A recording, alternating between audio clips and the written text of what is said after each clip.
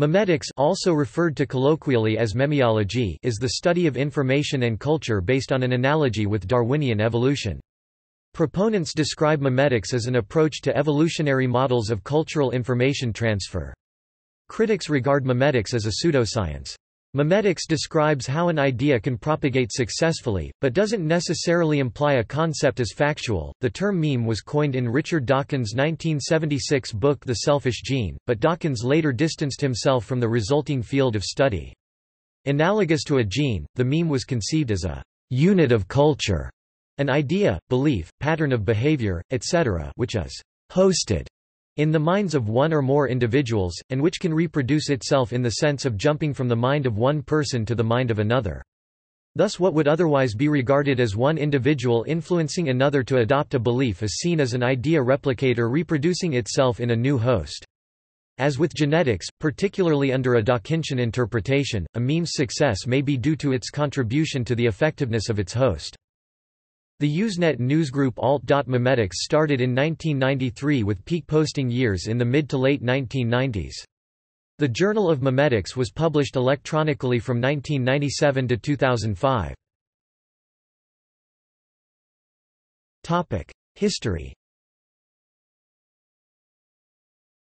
In his book The Selfish Gene 1976, the evolutionary biologist Richard Dawkins used the term meme to describe a unit of human cultural transmission analogous to the gene, arguing that replication also happens in culture, albeit in a different sense. Bella Hiskok outlined a similar hypothesis in 1975, which Dawkins referenced. Cultural evolution itself is a much older topic, with a history that dates back at least as far as Darwin's era. Dawkins 1976 proposed that the meme is a unit of information residing in the brain and is the mutating replicator in human cultural evolution. It is a pattern that can influence its surroundings, that is, it has causal agency, and can propagate. This proposal resulted in debate among sociologists, biologists, and scientists of other disciplines. Dawkins himself did not provide a sufficient explanation of how the replication of units of information in the brain controls human behavior and ultimately culture, and the principal topic of the book was genetics. Dawkins apparently did not intend to present a comprehensive theory of memetics in the selfish gene, but rather coined the term meme in a speculative spirit. Accordingly, different researchers came to define the term unit of information in different ways. The modern memetics movement dates from the mid-1980s. A January 1983, "'Metamagical Themas' column by Douglas Hofstadter, in Scientific American, was influential, as was his 1985 book of the same name. Memeticist was coined as analogous to geneticist, originally in The Selfish Gene. Later Arel Lucas suggested that the discipline that studies memes and their connections to human and other carriers of them be known as memetics. By analogy with genetics, Dawkins' The Selfish Gene has been a factor in attracting the attention of people of disparate intellectual backgrounds. Another stimulus was the publication in 1991 of Consciousness Explained by Tufts University philosopher Daniel Dennett, which incorporated the meme concept into a theory of the mind. In his 1991 essay, Viruses of the Mind, Richard Dawkins used memetics to explain the phenomenon of religious belief and the various characteristics of organized religions. By then, memetics had also become a theme appearing in fiction e.g. Neal Stephenson's Snow Crash. The idea of language as a virus had already been introduced by William S. Burroughs as early as 1962 in his book The Ticket That Exploded, and later in The Electronic Revolution, published in 1970 in The Job. Douglas Rushkoff explored the same concept in Media Virus, Hidden Agendas in Popular Culture in 1995.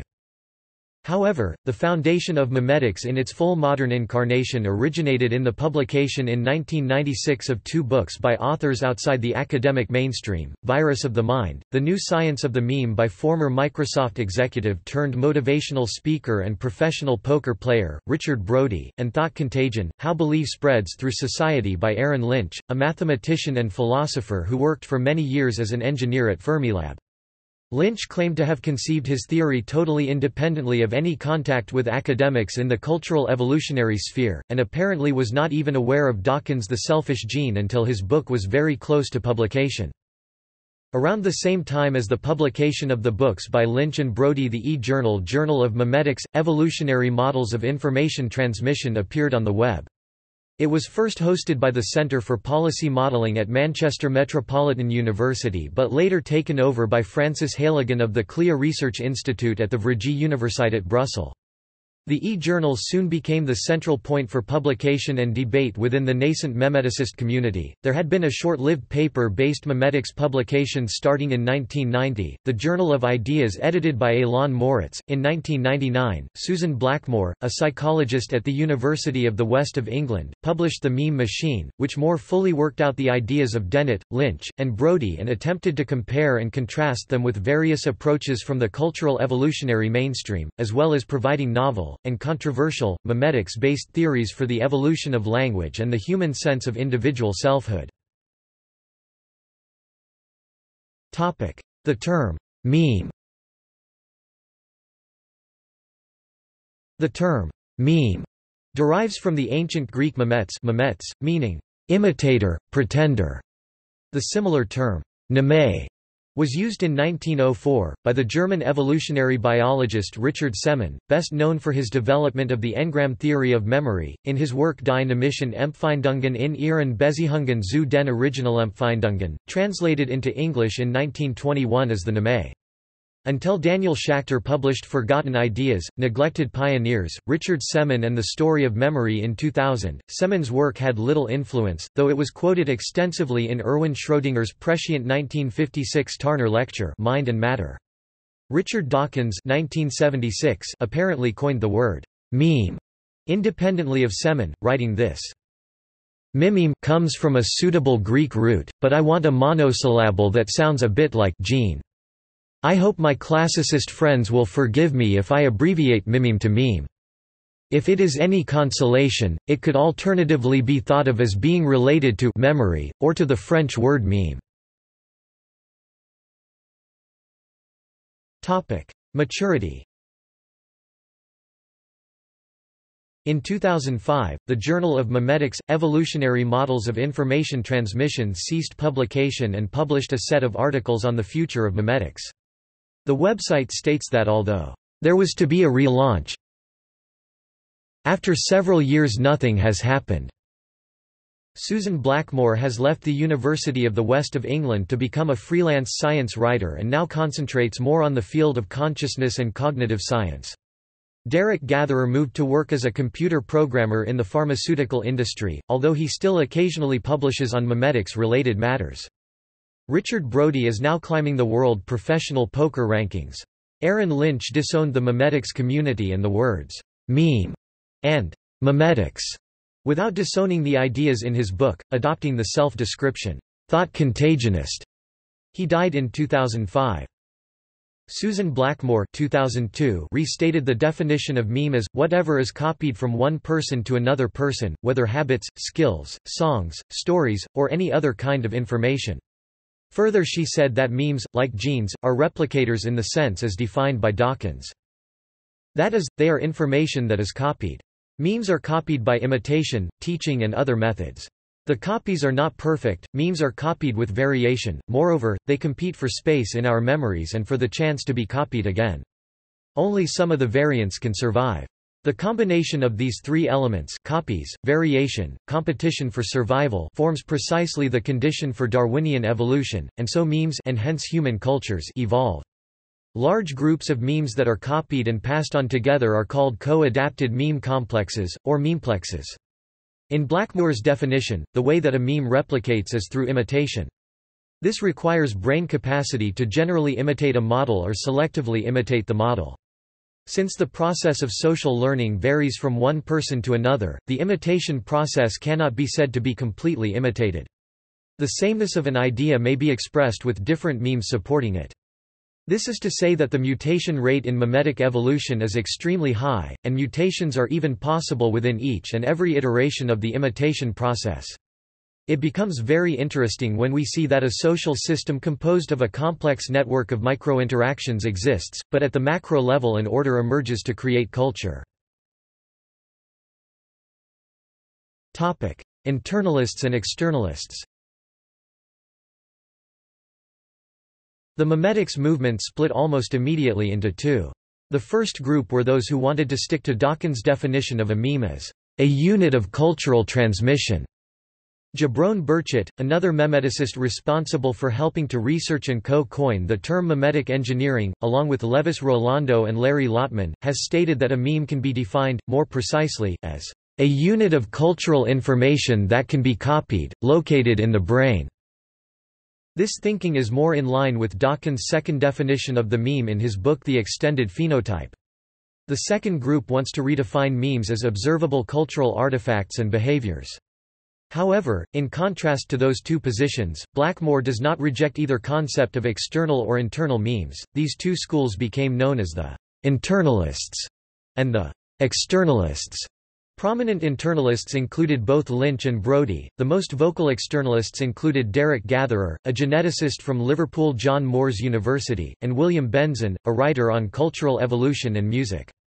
The main rationale for externalism was that internal brain entities are not observable, and memetics cannot advance as a science, especially a quantitative science, unless it moves its emphasis onto the directly quantifiable aspects of culture.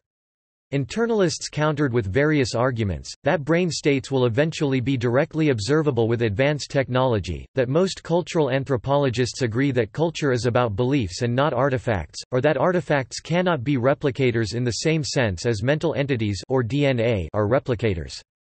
The debate became so heated that a 1998 symposium on memetics, organized as part of the 15th International Conference on Cybernetics, passed a motion calling for an end to definitional debates. McNamara demonstrated in 2011 that functional connectivity profiling using neuroimaging tools enables the observation of the processing of internal memes, I-memes, in response to external E-memes. An advanced statement of the internalist school came in 2002 with the publication of The Electric Meme, by Robert Aunger, an anthropologist from the University of Cambridge. Aunger also organized a conference in Cambridge in 1999, at which prominent sociologists and anthropologists were able to give their assessment of the progress made in memetics to that date. This resulted in the publication of Darwinizing Culture, The Status of Memetics as a Science, edited by Aunger and with a foreword by Dennett, in 2001. Criticism This evolutionary model of cultural information transfer is based on the concept that units of information, or memes, have an independent existence, are self-replicating, and are subject to selective evolution through environmental forces. Starting from a proposition put forward in the writings of Richard Dawkins, this model has formed the basis of a new area of study, one that looks at the self-replicating units of culture. It has been proposed that just as memes are analogous to genes, memetics is analogous to genetics. Critics contend that some proponents' assertions are untested, unsupported or incorrect. Luis Benitez Bribiesca, a critic of memetics, calls it a pseudo-scientific dogma and a dangerous idea that poses a threat to the serious study of consciousness and cultural evolution, among other things. As factual criticism, he refers to the lack of a code script for memes, as the DNA is for genes, and to the fact that the meme mutation mechanism i.e., an idea going from one brain to another is too unstable low replication accuracy and high mutation rate, which would render the evolutionary process chaotic.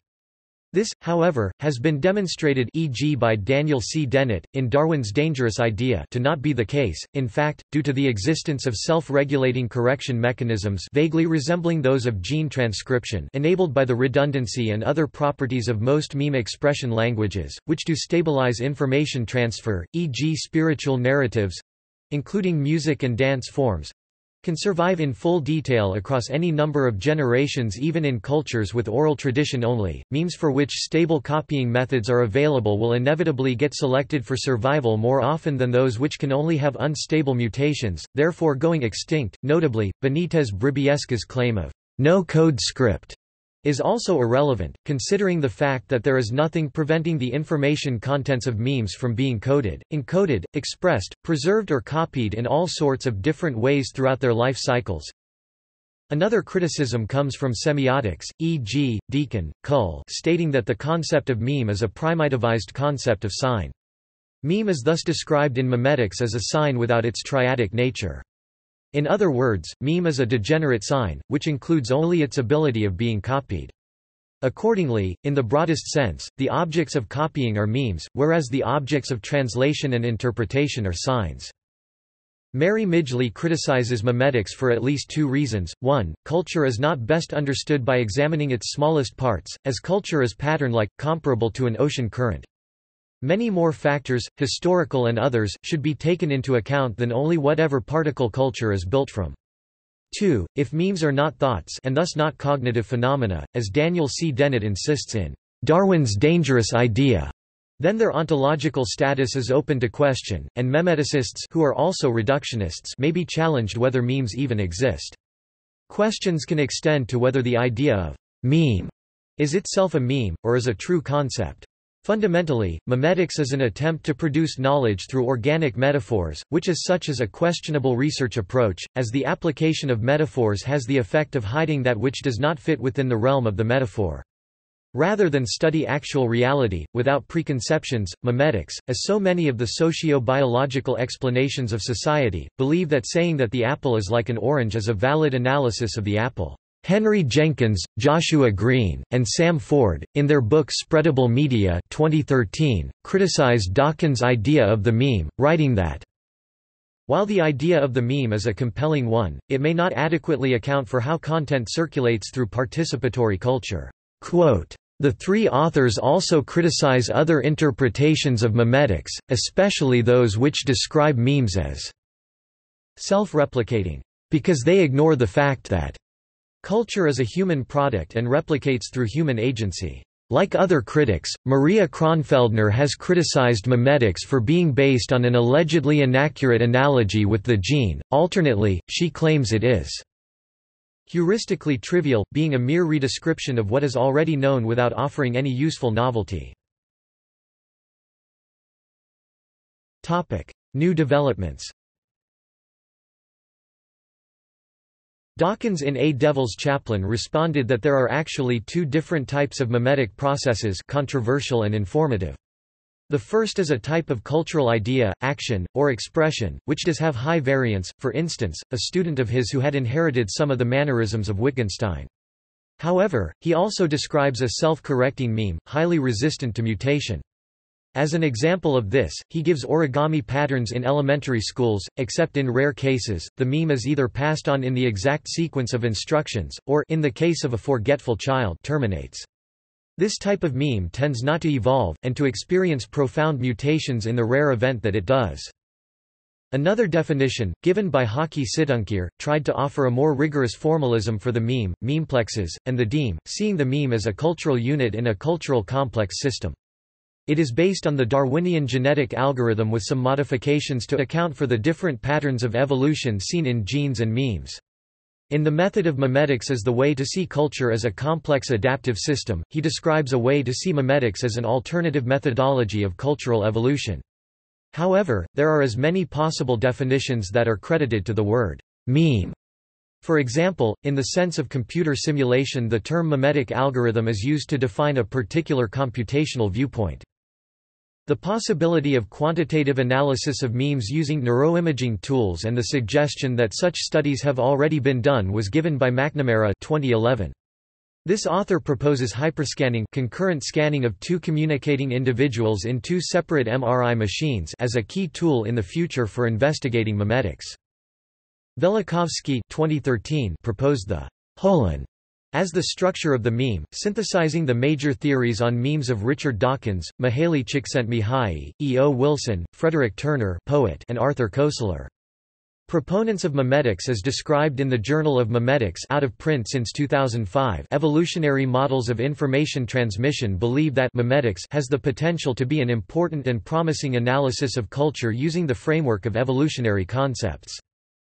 Keith Henson in Memetics and the Modular Mind analog August 1987 makes the case that memetics needs to incorporate evolutionary psychology to understand the psychological traits of a meme's host. This is especially true of time-varying, meme amplification host traits, such as those leading to wars. DiCarlo has developed the idea of memetic equilibrium to describe a cultural compatible state with biological equilibrium.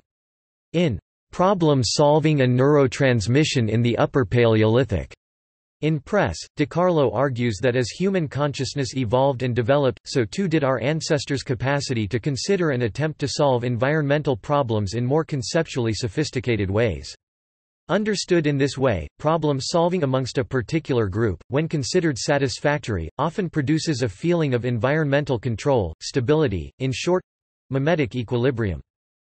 But the payoff is not merely practical, providing purely functional utility, it is biochemical and it comes in the form of neurotransmitters. The relationship between a gradually emerging conscious awareness and sophisticated languages in which to formulate representations combined with the desire to maintain biological equilibrium, generated the necessity for equilibrium to fill in conceptual gaps in terms of understanding three very important aspects in the Upper Paleolithic, causality, morality, and mortality. The desire to explain phenomena in relation to maintaining survival and reproductive stasis, generated a normative stance in the minds of our ancestors—survival, reproductive value or SR value. Hoban 2014 has argued on several occasions that the exceptional resilience of Vedic ritual and its interaction with a changing ecological and economic environment over several millennia can be profitably dealt with in a cultural evolution perspective in which the Vedic mantra is the meme or unit of cultural replication. This renders superfluous attempts to explain the phenomenon of Vedic tradition in genetic terms. The domain of Vedic ritual should be able to fulfill to a large extent the three challenges posed to memetics by B. Edmonds 2002 and 2005. Topic: Applications. Research methodologies that apply memetics go by many names, viral marketing, cultural evolution, the history of ideas, social analytics, and more. Many of these applications do not make reference to the literature on memes directly but are built upon the evolutionary lens of idea propagation that treats semantic units of culture as self-replicating and mutating patterns of information that are assumed to be relevant for scientific study. For example, the field of public relations is filled with attempts to introduce new ideas and alter social discourse. One means of doing this is to design a meme and deploy it through various media channels. One historic example of applied memetics is the PR campaign conducted in 1991 as part of the buildup to the First Gulf War in the United States. The application of memetics to a difficult complex social system problem, environmental sustainability, has recently been attempted at thwink.org using meme types and memetic infection in several stock and flow simulation models. Jack Harich has demonstrated several interesting phenomena that are best, and perhaps only, explained by memes. One model, the dueling loops of the political powerplace, argues that the fundamental reason corruption is the norm in politics is due to an inherent structural advantage of one feedback loop pitted against another.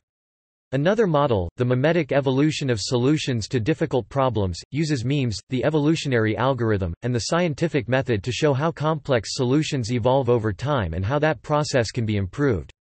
The insights gained from these models are being used to engineer memetic solution elements to the sustainability problem.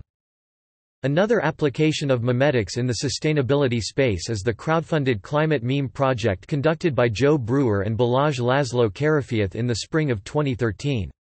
This study was based on a collection of 1,000 unique text-based expressions gathered from Twitter, Facebook, and structured interviews with climate activists.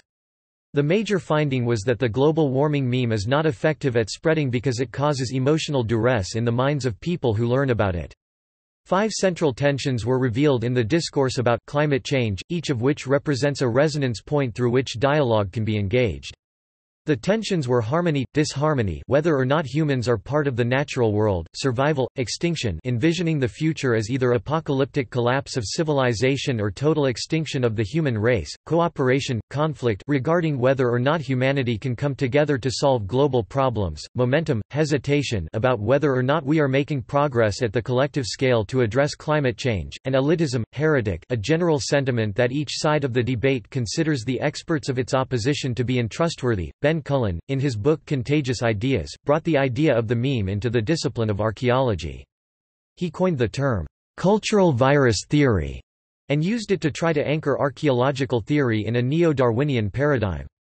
Archaeological memetics could assist the application of the meme concept to material culture in particular.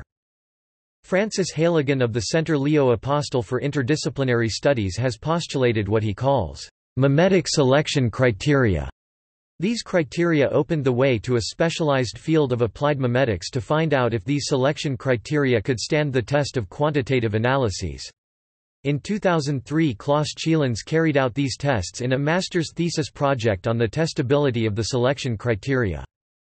In Selfish Sounds and Linguistic Evolution, Austrian linguist Nikolaus Ritt has attempted to operationalize mimetic concepts and use them for the explanation of long-term sound changes and change conspiracies in early English. It is argued that a generalized Darwinian framework for handling cultural change can provide explanations where established, speaker-centered approaches fail to do so. The book makes comparatively concrete suggestions about the possible material structure of memes, and provides two empirically rich case studies. Australian academic S.J. Whitty has argued that project management is a memeplex with the language and stories of its practitioners at its core. This radical approach sees a project and its management as an illusion, a human construct about a collection of feelings, expectations, and sensations, which are created, fashioned, and labeled by the human brain. Whitty's approach requires project managers to consider that the reasons for using project management are not consciously driven to maximize profit, and are encouraged to consider project management as naturally occurring, self-serving, evolving process which shapes organizations for its own purpose. Swedish political scientist Michael Sandberg argues against Lamarckian interpretations of institutional and technological evolution and studies creative innovation of information technologies in governmental and private organizations in Sweden in the 1990s from a mimetic perspective. Comparing the effects of active Lamarckian IT strategy versus user-producer interactivity Darwinian co-evolution, evidence from Swedish organizations shows that co-evolutionary interactivity is almost four times as strong a factor behind IT creativity as the Lamarckian IT strategy. Topic terminology Memeplex an abbreviation of meme complex is a collection or grouping of memes that have evolved into a mutually supportive or symbiotic relationship. Simply put, a meme complex is a set of ideas that reinforce each other. Meme complexes are roughly analogous to the symbiotic collection of individual genes that make up the genetic codes of biological organisms.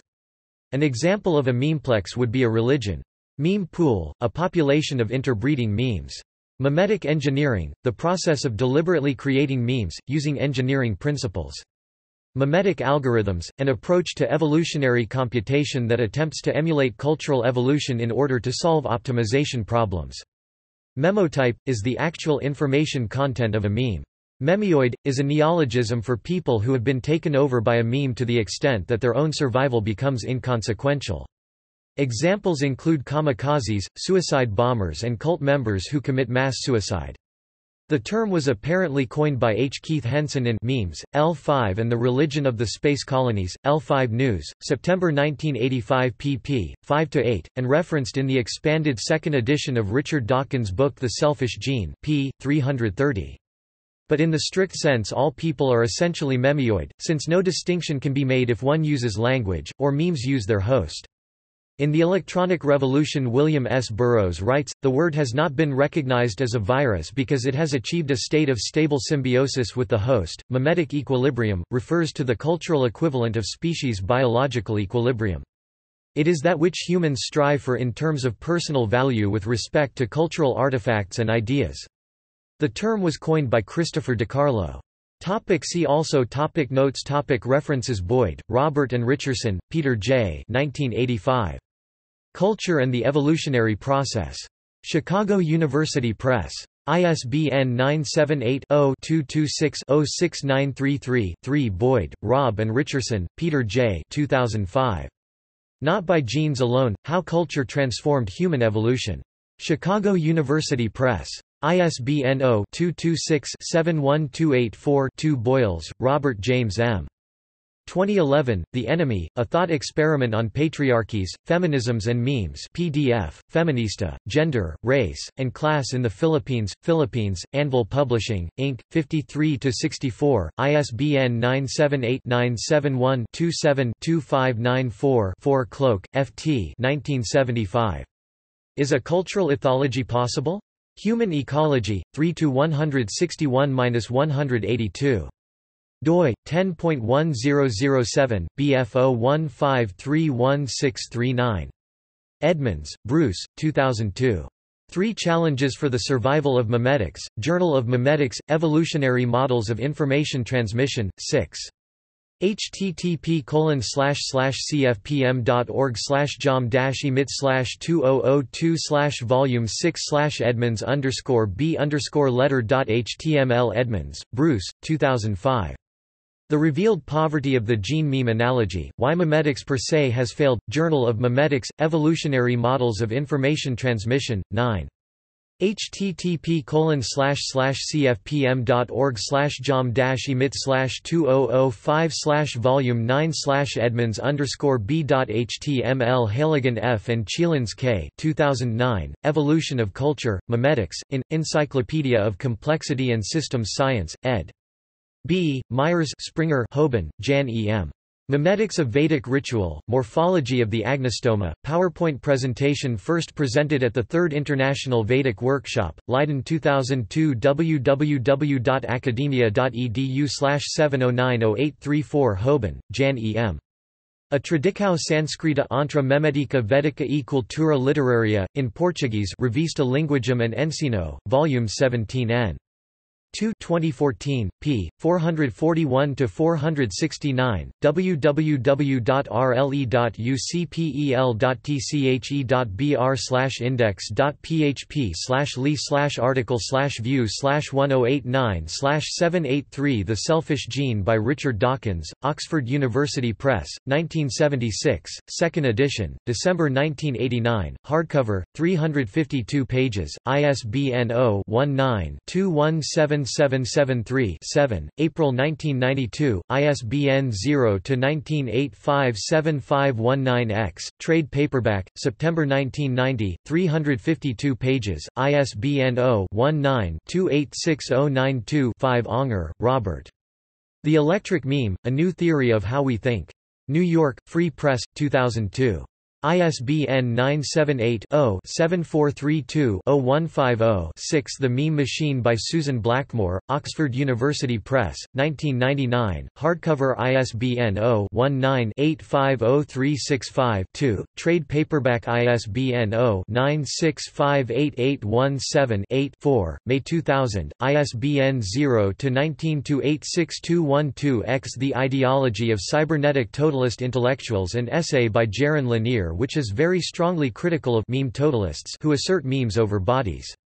Culture as Complex Adaptive System by Hokky Situngkir, Formal Interplays Between Memetics and Cultural Analysis. Journal of Memetics, Evolutionary Models of Information Transmission Brodie, Richard. Virus of the Mind, The New Science of the Meme. Seattle, Wash, Integral Press, 1996. ISBN 978-0-9636001-1-0 Cultural Software, A Theory of Ideology by Jack Balkin which uses memetics to explain the growth and spread of ideology. Can We Measure Memes? by Adam McNamara which presents neuroimaging tools to measure memes. Convivere con la memetica in Italian by Francesco Somigli, 2011 Lulu. Com. Topic. External links What's in a Meme? Richard Dawkins Foundation